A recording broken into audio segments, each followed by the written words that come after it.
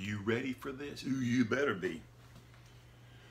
Okay, we're still subtracting mixed numbers, mixed fractions. 4 and 1 fifth minus 4 fifths, just like we finished on the previous video. Let's ignore the whole numbers, whether you're adding or subtracting mixed numbers, mixed fractions. You ignore the whole numbers, you work only with the fractions first. Once you're done with them, then you pick up the whole numbers as the last step. So all we're doing is 1 fifth minus 4 fifths. Well, uh-oh. 1 fifth minus 4 fifths. Hmm, that isn't going to work. Because that means I got to do 1 minus 4. 1 minus 4 is a negative number because that's bigger. I can't do that. Well, I can, but here's how we have to get around this. Now keep something in mind. If I get a pizza and cut that into eight pieces, and I get all eight of them, how much pizza do I have? Well, a whole pizza, the whole thing, one entire pizza. If I cut a pizza into 12 equal pieces and I get all 12 of them, how much did I get? One. Realize anytime the same number is top and bottom in the fraction, that's equal to one. That's the whole thing. Well, that's important here. I've got to do one fifth minus four fifths. Oh man, because I can't do the one minus four, here's what you're going to do. Now, I'm not sure, it depends on who you had for, I guess this was fourth grade math, depends on who that person was and the terminology the person used. You can uh, rob Peter to pay Paul. Oh, I can't say that. That's a biblical term. I can't use that. I'll be in violation of some federal law. I'm sorry. Uh, I could do the Robin Hood thing. I can steal from the rich and give to the poor. Or whatever term you want to use. What I'm going to do is, okay, on, on the left hand one, on this fraction right here, on the left, I'm going to subtract the number one from the whole number. Meaning I'm going to subtract the number one from four. Well, that becomes a three. But I'm going to now give that same number one to his little partner, to the fraction part. Again, I'm going to steal from the rich and give to the poor. I'm going to rob Peter to pay Paul. I'm going to subtract one from the whole number, add the number one to the one fifth. Well, how would I add the number one to the fraction one fifth? Well, if I added it as 5 over 5, oh, that's a lousy looking thing. 5 over 5 is 1, right? So I'm adding the number 1 to one fifth. Catch what I've done. I've subtracted 1 from the whole number, added 1 to this. See, if I, this is dumb, if I have a dollar in my right pocket, and I take it out and put that in my left pocket, it's still my dollar. I'm not changing anything. So I'm taking 1 from this part and giving it to the other portion of the same fraction. Well, now it's 1, or 5 fifths, plus 1 fifth. What is 5 fifths plus 1 fifth? Why, that's 6 fifths. So this whole thing right here becomes 6 fifths. Oh, cram it in there somewhere, okay? So although it sounds goofy, 4 and 1 fifth kind of temporarily becomes 3 and 6 fifths. But now it's going to work because now, let's ignore the whole number right now. All we're doing now is still working with the fractions. I'm going to do 6 fifths minus 4 fifths. Well, I can do 6 minus 4. That'll work. 6 minus 4 is 2. And keep the same 5, keep the same denominator. So, I'm not finished yet, but I've finished with the fraction portion of my mixed number.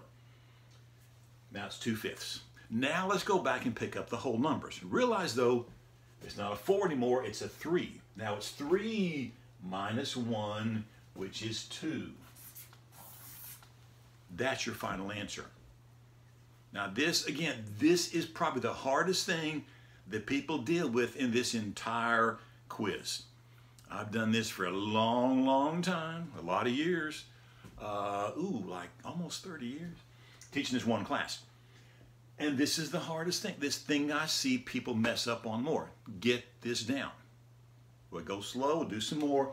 But again, what we do is, if this is less than this, this is more than this, you must subtract 1 from the whole number, add the number 1 to the fraction portion in this fashion. Hey, what if this had been 1 over uh, 6? Then I would have added this is 6 over 6. You see the pattern. What if this had been something over 7? I would have added 1 in the form of 7 over 7. Any number over itself is 1. Well, let's look at another one. 6 and 2 thirds minus 2 and 5 sixths. Let's ignore the whole numbers. Let's just do the 2 thirds minus 5 sixths. What's going to be our common denominator? Can I enlarge my smaller one and make them into the bigger one? Can I enlarge a 3 into a 6? Absolutely. So in that case, although I'm going to rewrite that one, I don't mess with them. I keep them as 5 6, but I must enlarge the 2 thirds and make it something over 6. So what do you do to a number 3 to convert him into a number 6? You multiply by 2. So the top number also, multiply that number by 2, that makes it 4. So I'm going to do 4, 6 minus 5, 6. That's not going to work. I can't do 4 minus 5. That's a negative number. When this number is bigger than this, or say it backwards, when this number is smaller than this, I can't do it yet. Same thing though. What I'll do is I will subtract the number one on, the left-hand fraction. I will subtract the number one from the whole number and give it to the fraction part. Well, if I subtract 1 from 6, it becomes a 5. But now I'm going to add the number 1 to this fraction. How would I add the number 1 to 4 6? Well, I would add it in the form of 6 over 6. I get a pecan pie divided into six equal pieces, get all six of them. I got the whole thing. I got one pie. So add 6, 6 to 4, 6. Well, that's 10 sixths. So this whole thing right there became 10 over 6, 10 sixths.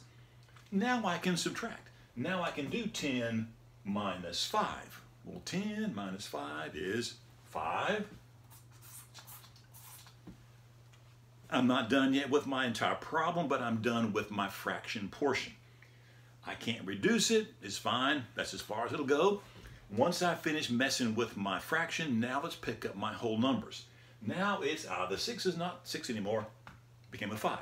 So now it's five minus two is three. Three and five sixths. Another one, oh boy. Four and one eighth minus one and three fourths. Well, that's not a common denominator. I gotta make one into the other. Can I enlarge my smaller one and make it into my bigger denominator? Oh yes, I can enlarge a four, make it into an eight. So I can just leave this one alone, but I need to enlarge, oh, well, I need to enlarge a three fourths into something over eight. Well, let's see. What do I do? I need to multiply four times two to make it into an eight. So four times 2 makes 8. But the 3 says, me too, I gotta have this. Okay, so multiplying the, the 3 by 2, that becomes 6. Oh, lousy looking junk there. Uh, you think they'd hire some decent teachers around this college? But no, we've got to hire that Dudley guy. Okay, so we have now 3 fourths became 6 eighths. 1 eighth minus 6 eighths, that's not going to work. Because again, 6 is bigger, 1 smaller. I can't do 1 minus 6.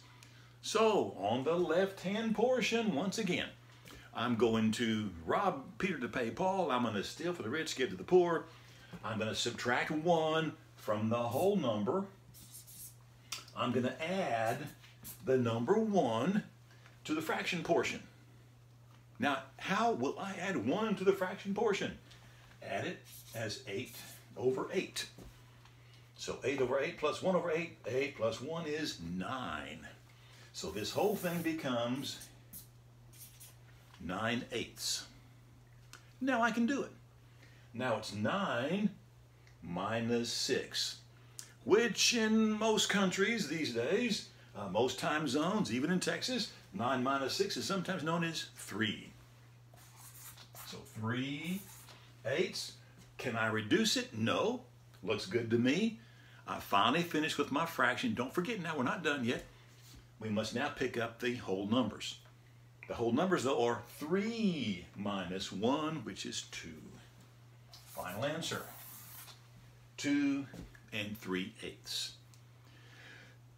There we have that. I hope you got this down.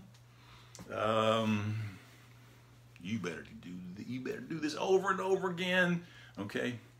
Well, the clicker took about four times last time. Let's check here. One time, two times.